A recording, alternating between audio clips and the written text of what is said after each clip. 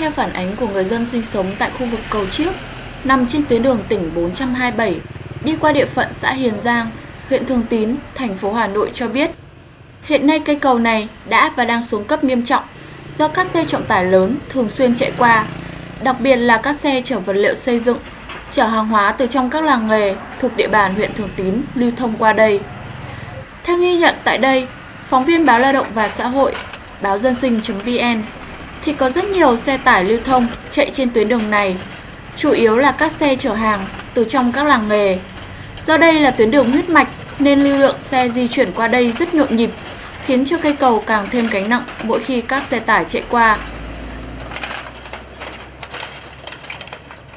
Nắm được tình trạng đó, đội thanh tra giao thông vận tải Thường Tín đã tổ chức kiểm tra xử lý các xe tải chở quá trọng tải cho phép lưu thông qua đây. Trao đổi với ông Ngô Quốc Cường, đội trưởng đội thanh tra giao thông vận tải huyện Thường Tín về việc tuần tra xử lý các xe chở quá trọng tải lưu thông qua cầu Chiếc. Ông Cường cho biết,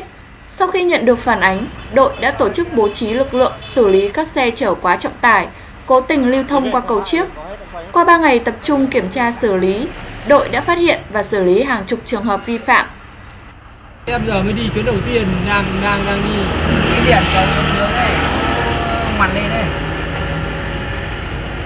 đang uh, đang đang bảo nói chuyện bên kia chả thấy cứ thế là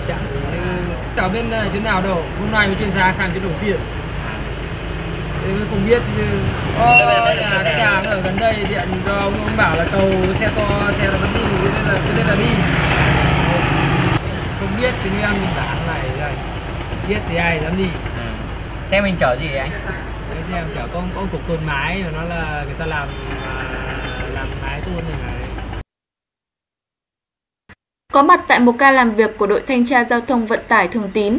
phóng viên đã ghi nhận được hàng chục trường hợp vi phạm bị lập biên bản xử lý. Lỗi vi phạm chủ yếu là chở quá trọng tải khi lưu thông qua cầu chiếc.